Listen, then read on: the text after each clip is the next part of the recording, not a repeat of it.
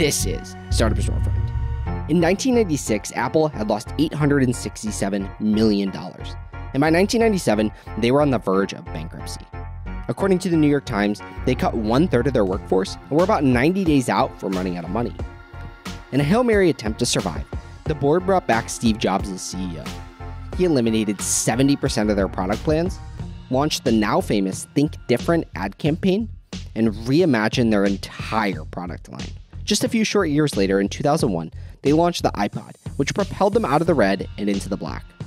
Fast forward to today, and Apple is now worth over $2.3 trillion.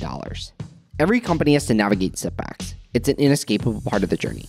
This is the final installment of a three part BrightLive podcast series where we break down how to build a distinct brand. In this episode, we are focusing on navigating and overcoming setbacks. On the panel, we have Jacob Pechenick, the founder of Lettuce Grow, Manu Seve, the founder of Alphaa IO, and Loren Brill-Castle, the founder of Sweet Loren's. In this segment of the series, we discuss dealing with implicit bias while raising capital, why embracing big problems can lead to big growth, and how making the decision to become an entrepreneur is like switching religions. Welcome back to our last hour how to build a distinct brand. On this topic, we'll cover navigating setbacks. I'm Nick, this is Diego, we're from Startup Storefront. To my right, we have Manu Seve from Alphaa IO, Loren Castle from Sweet Loren's, and Jacob Pechenick from Lettuce Grow. Let's get into it. All right, here's a setback. I'll give you guys a story. So right now we're in Benny Boy Brewing. You guys uh, may notice some tanks behind us. We started this project pre-pandemic. We have to get approval to make beer or wine. In order to do that, it has to go to City Hall. In order to do that, you have to meet the council member, and there's some politicking that goes on. Our appointment for City Hall approval was St. Patrick's Day, and City Hall shut down two days prior to that because of the pandemic. And so now our project was in free fall. The bank was really almost walking away. And so we already had investors. We had already spent probably $100,000 just to get to this point. And it was like everything was about to fall apart. And the pandemic was not helping, and everyone was in chaos, if you might remember what that was like. And so that was a, a real setback we had literally to walk through. Our tenant was also thinking, so Benny Boy Brewing was also thinking about canceling the whole thing. Who wants to open a restaurant or a brewery or a cider during a pandemic? Didn't make any financial sense. Nothing made sense at the time other than just like, let's just anchor down and figure all this out. And we also didn't know how, how long it would be.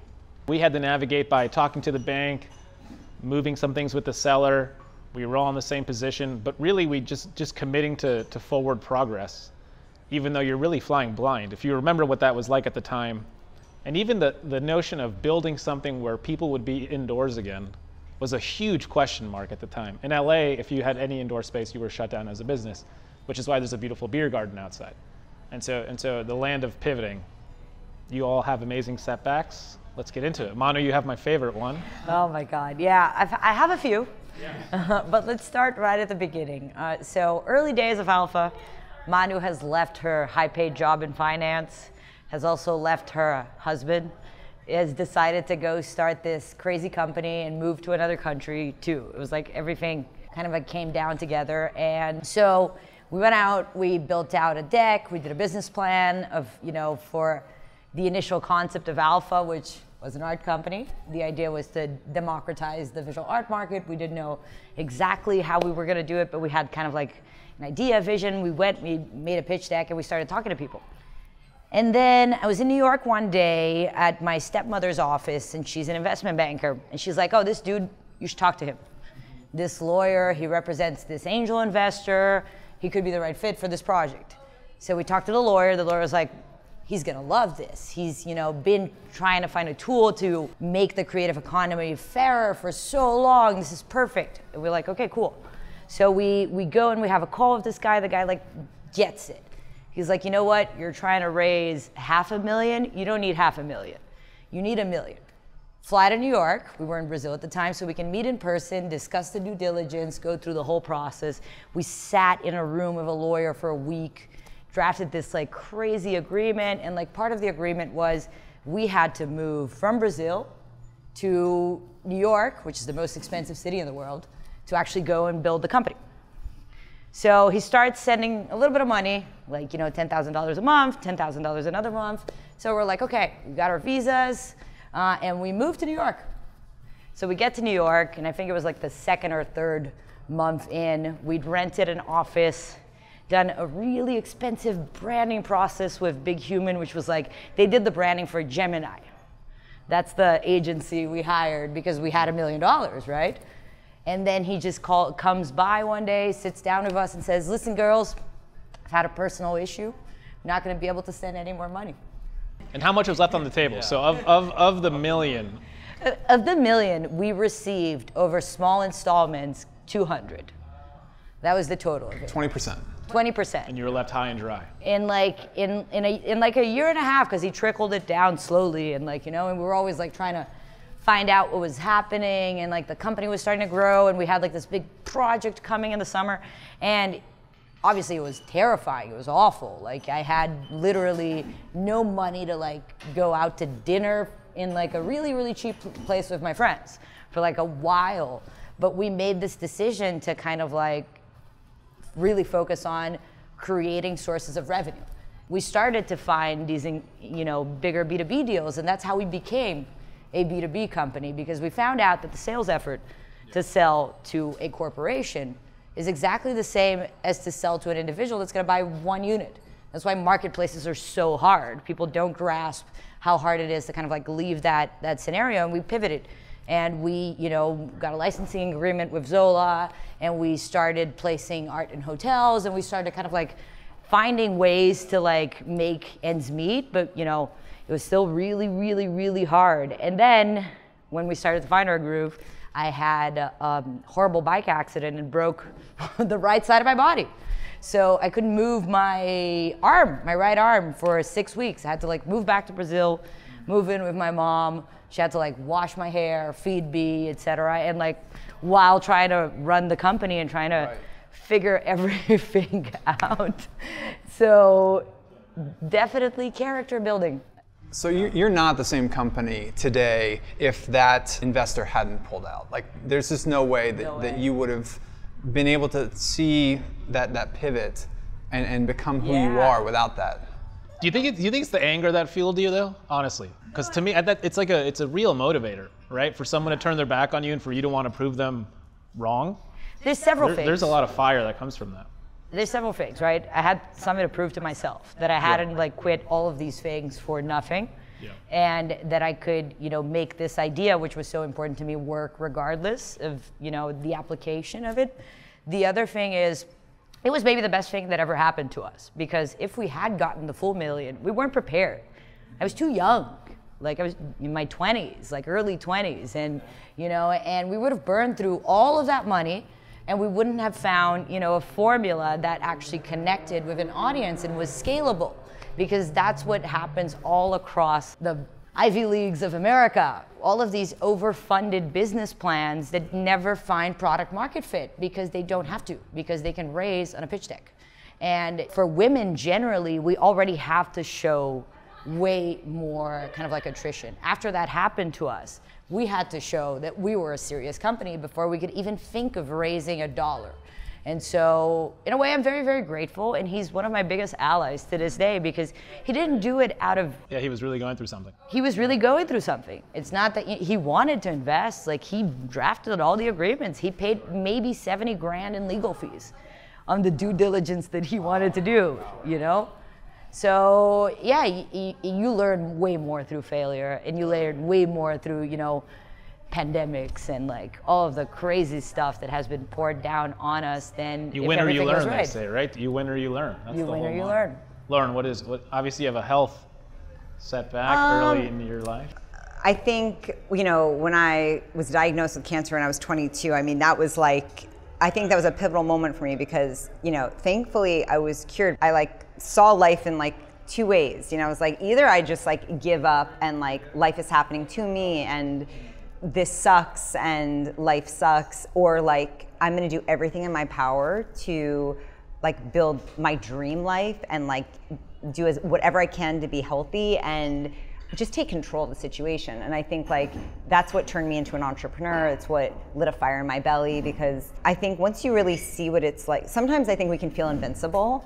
And until something happens to you or someone you love, and then you're like, oh, wait a minute, life is like super precious and I like want to live with intention every day. And so I think like learning that lesson at a young age made me feel a lot older than early 20s. And it made me just feel like, whatever I have to do has to have a positive impact on the world. I have to love it. I don't really care about the petty stuff anymore. And I think when I realized my strength of just like overcoming that and like the mental strength, the physical strength, and, and how impactful natural foods are to your body, like that just lit me up in a way that was just like there's no that was my truth. And so i was like i have to find a way to like make this kind of my calling. But when we launched actually the company like when i launched sweet loren's our original recipe wasn't plant-based it wasn't gluten-free it wasn't nut-free it was really just like a natural cookie dough and the goal was like just to take out any any chemicals anything processed and just make a delicious natural cookie dough that people could bake and that could really compete with the conventional stuff on the shelf and I will say, like, it wasn't product market fit yet because it wasn't different enough from the big guys to really compete in the major supermarkets in the US. And so once I started getting national distribution in like the big supermarkets, I started to get comments from people that would say like, "Oh, my husband's gluten free. Can you create a gluten free line?" Or "My kid has a nut allergy," or "I'm trying to be plant based." And and so I created one SKU, like one product that was just basically free of all the top allergens and sensitivities and was like, I'm just going to test this. And it, it, became our number one SKU overnight. And so over the last four years, you know, Sweet Loren's, all of our cookie dough is now just delicious, but it's also, you know, non-GMO, plant-based, gluten-free, nut-free. I didn't start the company that way, but it's really, it, you know, I saw the product market fit is like, okay, like if you don't pivot, like we would have died if we didn't, sure. I think, like pivot and just say like, how do we create a product that no one can compete with. Yeah. We have a question from KP here. Our first question of the session comes from Caitlin, who wants to know what it was like to go out and raise money as a female founder and if there was any implicit bias in the investor meetings. Of course. of course, of course. It's going to be harder as a woman. It's like the statistics are there to say it. 98% of funding dollars go to men, 2% go to women, 0.02 or something go to Latina women. So it's just like the statistics are there to, to speak for itself. But it's way better now than it was probably when we started. Like the amount of funds that have as a mandate to invest in women, to invest in minorities, to invest in you know Latinx, et cetera, and and you know and they're gaining a lot of power because guess what? We are a better business. Even though we only get two percent of funding dollars, I believe we produce 12% of unicorns. So it's you know it's a very powerful statistic to ignore. So, you know, women have very specific characteristics as well when it comes to fundraising. And I heard this a lot from investors early on, like, or close advisors.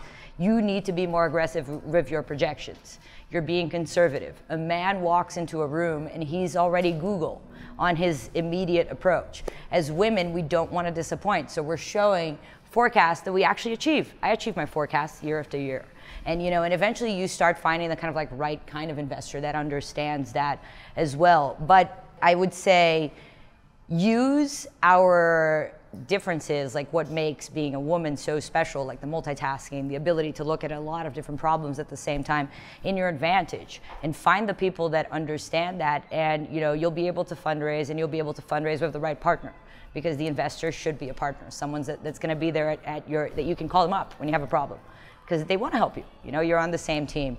But you're, yeah, there's been like, there, there's been crazy comments in my career. Like there was a guy on LinkedIn that literally posted, uh, wrote on an article that I wrote about fundraising that uh, women have smaller brains than men because of the hunter-gatherer mentality. It was like something so pseudoscience, like insane that you know. I, I and you know what I did instead of like hiding behind the keyboard in the comments. I print screened that. I wrote another article. The whole thing went viral. The guy was fired from his company on LinkedIn, and that's kind of like our responsibility to like stick together for each other and not let uh, these kinds of things being okay anymore.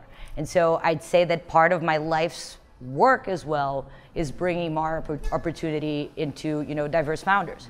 And I, my time is always available. If someone needs help, I help so many different female founders that are getting started with just getting, you know, pitches prepared or connecting with the right people and you know and, and we've introduced each other to so many people it's mutual because then they're out raising their other round and they'll find someone that is interested in a blockchain use case and they'll send them my way i'll say too like women i'm an investor in some companies and i'll say uh, if you're an investor who disrespects a woman during the fundraise that's going to spread and that's not and so and so that person's going to get is going to miss out on deals on all sides because nobody wants that person on a board no one and so i think the tide is changing um, because women are becoming more of a powerhouse and people are taking notice Loren, do you have any comment? Um, yeah, I mean, what you could imagine when I started, you know, it's like I'm starting a cookie dough company. People would be like, "Oh, that's so cute," you know, and you'd be like, "I'm not doing this to be cute. Like, this is going to be a billion dollar business. Like, this is going to change the food industry." So, like, I think I definitely experienced that to some degree, but I think just as she was saying, like, I'm passionate about the food industry. Most shoppers of most consumables, but definitely food, are women. But yeah, women control the food in most homes. And so I think that, you know, looking at that stat and being like, well, why are men making most of the food then? Like, I am the perfect person to create this product because I know how to appeal to them. I am that customer. And first of all, getting to know myself enough to know that, like, I am a CEO, I want this responsibility, I know I can do it and then I think once you have that confidence and vision, like no one should get in your way, whether it's a man or a woman, and like you just have to attract the right personality. I've never raised institutional funding. So like I've I've raised from some friends and family. So I've never had to deal with it on that level. But yeah, at the beginning it was like a joke to some people, and you just have to prove them wrong. I, I any negativity I turn that into like a positive. Like I was like I can't wait to prove you wrong. I'm an investor and a founder. Her, na- her name is Brooke, and uh, every time she fundraises, she dyes her hair pink, and it's her way of like showing up to the table and, and almost giving this fu. Yeah. And it's it's also her cape, and I just love that she does it, and it's really it's beautiful. Honestly, it's it's a big fu, but at the same time, it's it's you're already doing like her her call out is you're already thinking it. I'm just wearing it, and it's this int- it's interesting. Yeah.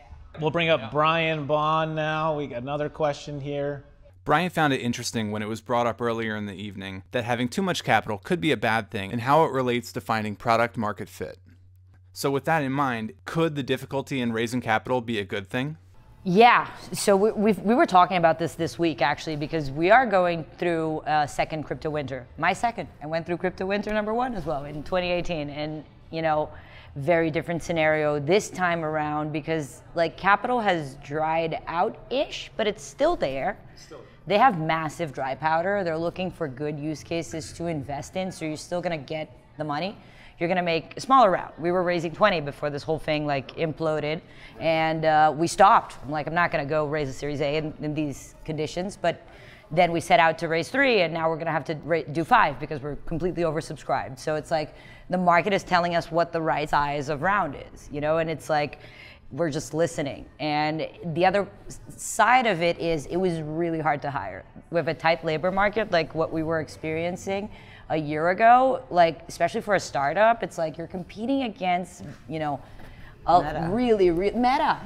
Facebook once again you know and and crazy salaries and crazy benefits things that you are not able to, to give. And even if they are passionate even if they do believe in the vision like when it's that level of difference in terms of salaries it, it becomes impetitive and you know and that also drives like the crazy fundraising round. So it's kind of like it's nice to have a little bit of a cool down so we can have more efficiency and we can see the real businesses that are supposed to be here be here and gain market share. Because guess what? Competition is going to spend less money on marketing. And the best product at the end of the day will win.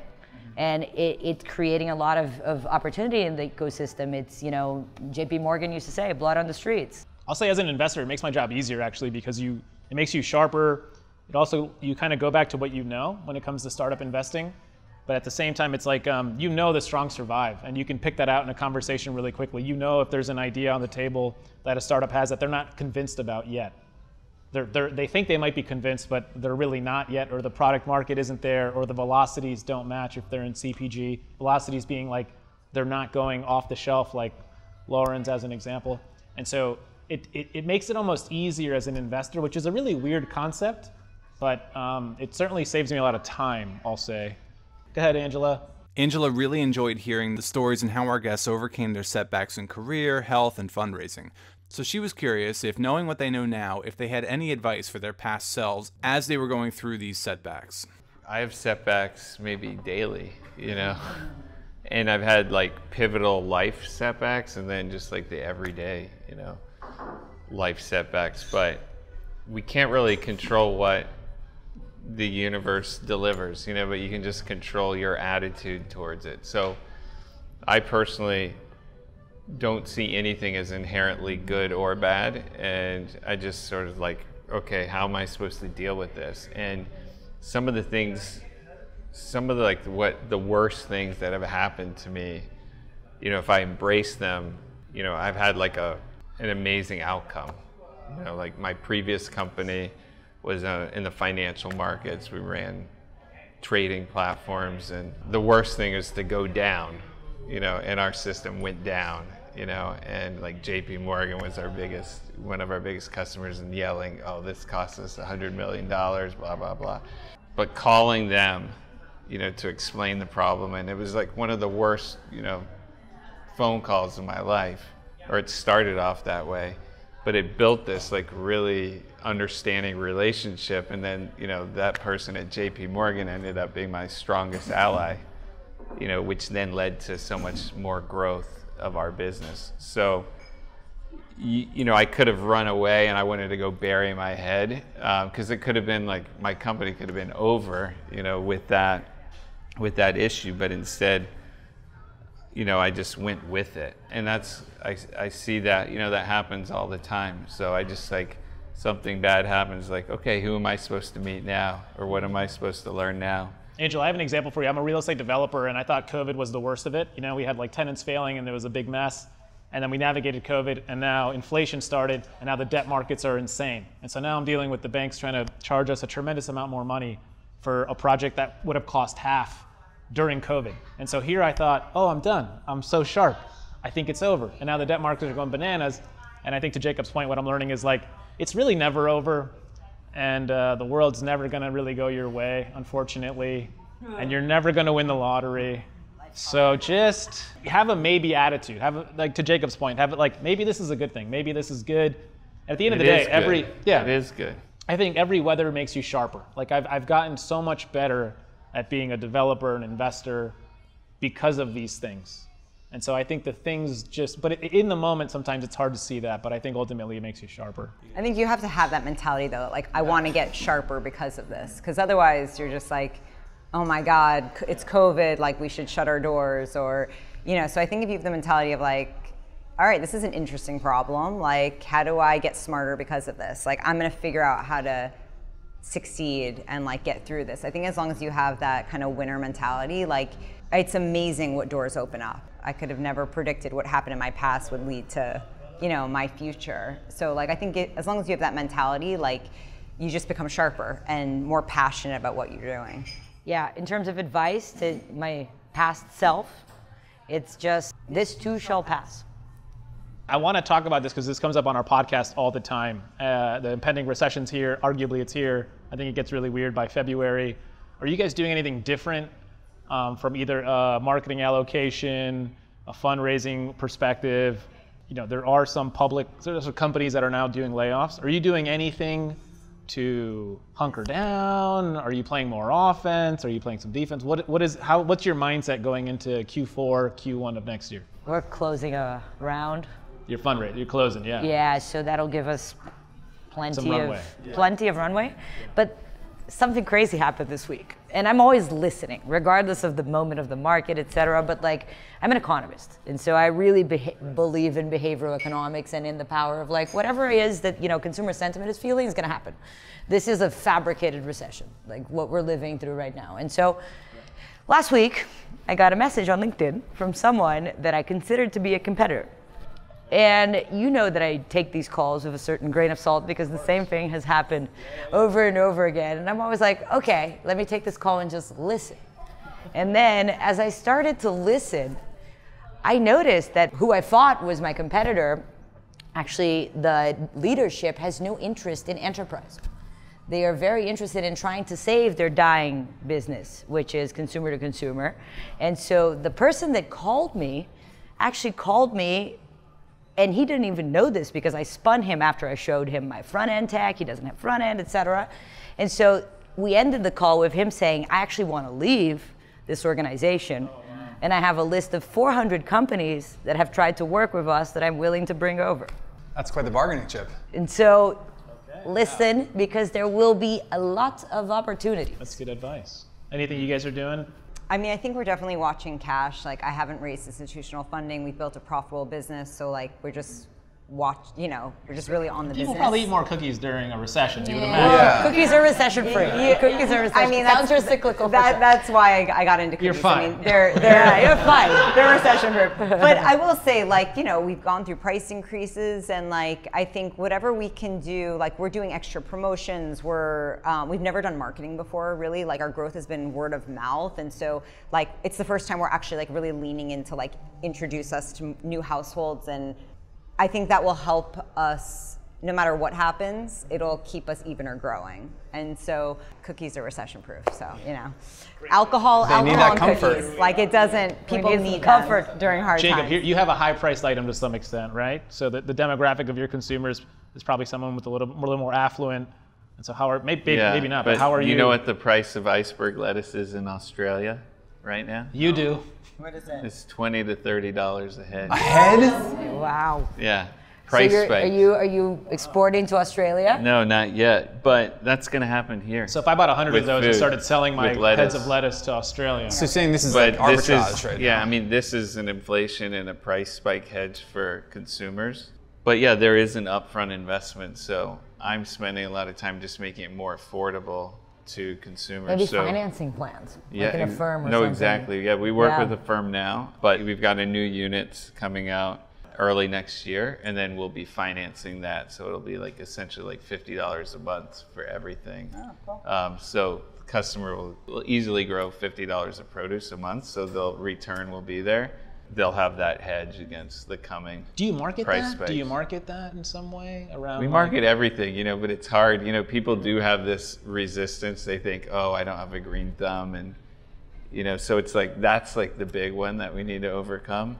And it's usually once people start growing with us, it's not the economics that really drives them, it's the experience. They just love it so much and they love the quality of the food and sharing the experience with their kids and giving it to their you know friends and neighbors and you know making growing their own food but there's just a big resistance because we're used to going to the grocery store but for thousands and thousands and thousands of years we grew our own food it's only in the last 150 years we stopped so we're just trying to get people back you know reconnect people Can you plan ahead for looking ahead? Like, let's say iceberg lettuce in the U.S. climbs 10x. Can you even plan ahead for something like that? Like, I know crop futures are Nick a thing. loves iceberg lettuce. Yeah. Nick is very concerned. If it From climbs- Australia in if it climbs particular. 10x, grow you start I'm gonna be your own. bankrupt. Yeah. No, but what's happening, you know, we have so much water issues, right? So, you know, farms are going to st- start diverting water away from low dollar crops to high dollar. And so it's going to go away from this stuff that you really need to like nourish your brains, you know? And that's where you're going to get the spikes from. And so it's definitely going to happen here. Yeah. For people listening, entrepreneurs, future entrepreneurs, what is what advice would you give them if they wanted to start a company today? In this in this environment, they have a great a good idea, they're ready to go. What's the thing that you would tell them since we're talking about navigating setbacks? Given given all of the setbacks we've talked about. It's like the Jewish uh, faith. If you want to convert, you gotta, you gotta, you gotta be sent away three times. I, mean, I would say no, don't do it. if you come back three times and it's the same idea and you really, really want to do it, then I'll say okay, go to market first. Don't build anything. If your product is, you know, uh, whatever it is that requires the technology feature, map it out in analog life. Find someone that will pay you for that, and then you go and you build. Like, don't build. They're not going to come. Don't build it and they will come. They will not come. Like, you know, make sure that you build when they're already there. Let's talk about that. So Eric's got a Yeah. question. We'll bring him on stage and then we'll wrap here because this is actually a really good question that uh, there's people in this room, specifically my guy Owen, who's dealing with this right now. Eric, welcome. Go ahead. Eric wants to know what it's like to weigh the decision to pivot versus staying the course. How do you know when to choose which direction? I, I talk about pivoting like this. So let's pretend I wanted to get in really good shape, but I'm eating cookies instead of lettuce grow every day. At some point, I would go to the scale all. and I would realize like this isn't working, right? And so someone told me some really good advice like your startup shouldn't feel like you're pushing a boulder up a mountain every day. And I think there are certain very influential people on YouTube that have told you to be in a basement, work harder, hustle, and you'll eventually carve this stone. And it doesn't work that way, actually. I, I, I think the thing is to, I think Manu said it, one of you, to listen. You really have to listen to the market because they'll tell you. They'll tell you what they're really into. And when you're not listening, you're continuing to shovel cookies in your mouth, let's say, and expecting to lose weight.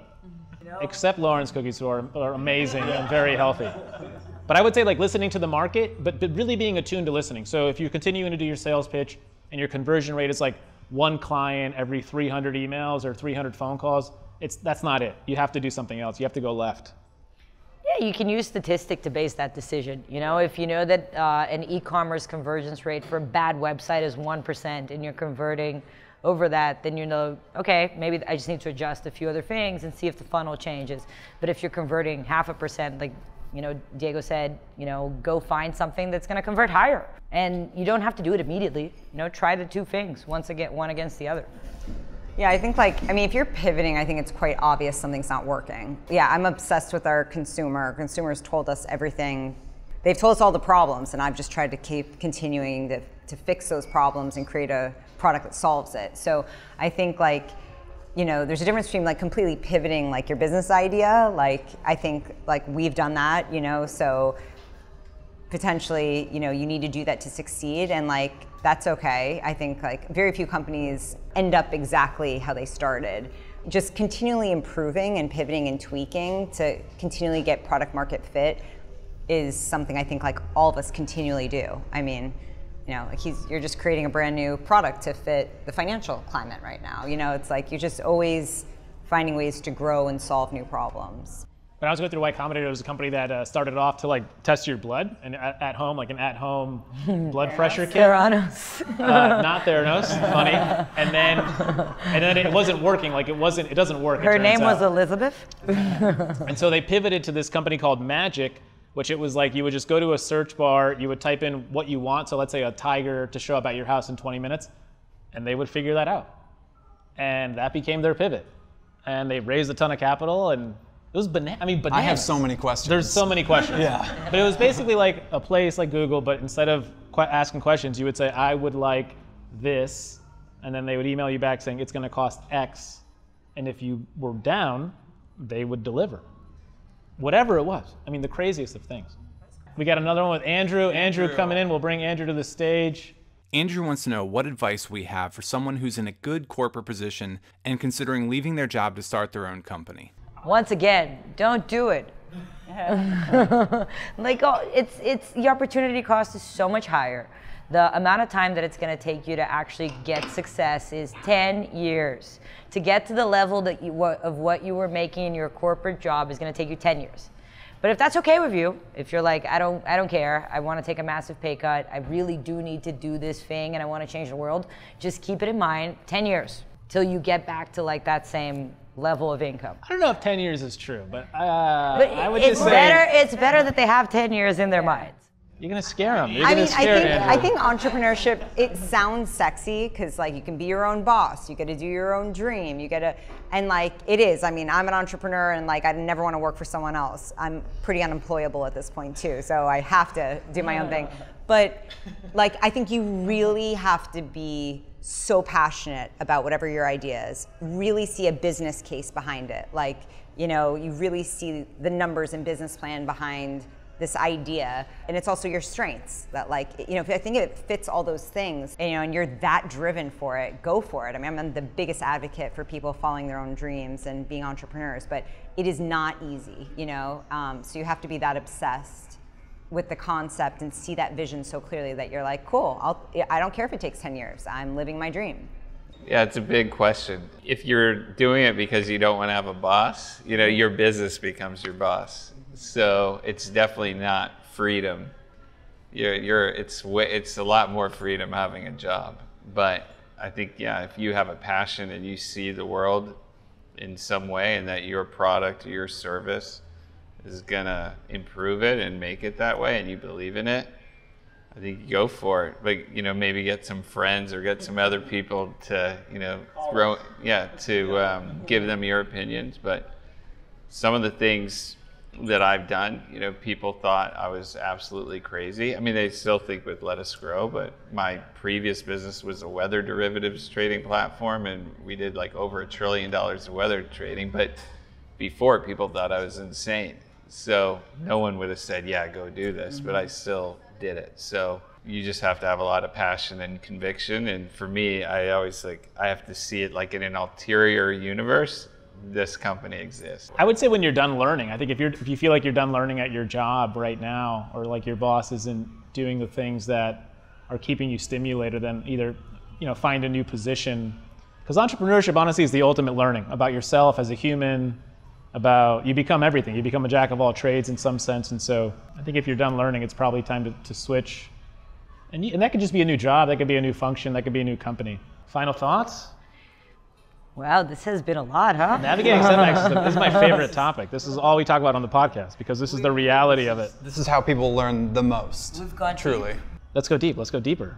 We'll, we'll end here. What, what, what type of, let's call it like whether you are in therapy, whether you talk to a therapist, you know, what are the things that you've found mental health wise has transformed the way you think about business? I'm all for it. I'm, I've been in therapy. I'm actually on break now, but I've been in therapy for almost 20 years, and I've done a lot of different kinds of therapy, from like um, therapy with my mom to group therapy when I was a teenager because I was not easy, to therapy alone for many years, to the the couples counseling with my former co-founder. And so you need therapy, even if it isn't, you know, you don't need a traditional therapist per se, but you need to find your own safe space because entrepreneurship can be very, very lonely.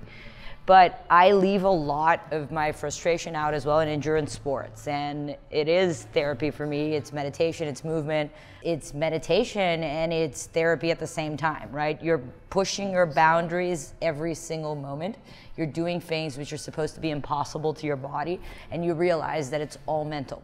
And it's exactly the same thing as entrepreneurship. And then when you get to the top and you come down, it all feels so amazing and you feel like you are unstoppable because you are. We are so connected with nature. We are so connected with everything around us. You, you, you brought up Eckhart Tolle. Eckhart Tolle is the man. Eckhart Tolle, you know, and he, he even talks about this like when you find your inner purpose, it needs to match your outer purpose, or else you will not be living in a happy, fulfilled life. And I think that's exactly what it is for, for us, right? We found our inner purpose in, in a way with these companies. They are a reflection of who we are, of what we believe in. And so, and, and you know, you're, you're able to kind of like enter this place of presence where you're fully disconnected from everything else. And that's what I feel like, you know, is, are these, these moments of, of quiet, or these moments that you can achieve you know, on your own on a hike, or you know, when you're even reflecting about your company in the shower. Sometimes, like it feels like you just like you leave this earth yeah. and you're onto a better place. And so it's like uh, find presence in anything you do, and find your own safe space so that you can share. Because don't let it get lonely. You know, it's it's it can. My sister's a life coach, and um, she did something with me that like changed my life. It was so simple, but she had me draw like a wheel, and it had wedges in it, and each wedge is like a section of your life, like spiritual, you know, business, romantic, like health, family, friends, travel, whatever, all the things that compile your life. And she was like, you know, shade in like how full each of those are.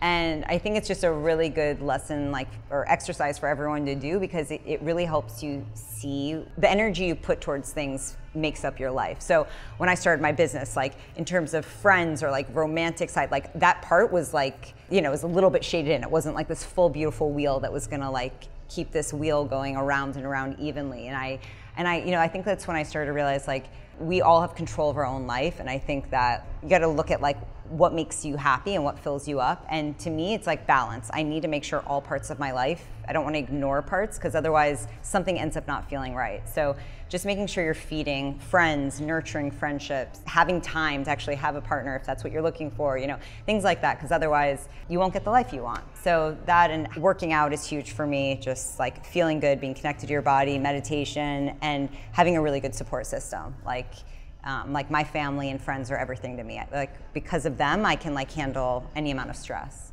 Jacob, final thoughts? Cold plunge. Cold Oh, plunge. lunch, sauna. That's- sauna that's what helps me. Yeah. It's very Nordic.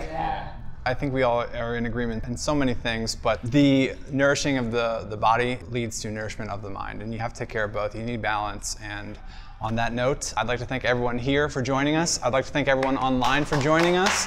This has been a lot of fun. From all of us on stage, Startup Storefront, BrightLive, and all of our guests, we thank you, and we will see you next time. Thanks again. If you made it this far, I bet you loved the episode. So you should join our YouTube channel membership for only $2.99 a month. This gets you access to one, the whole unabridged conversation. Two, you get the episodes on Monday, one day earlier.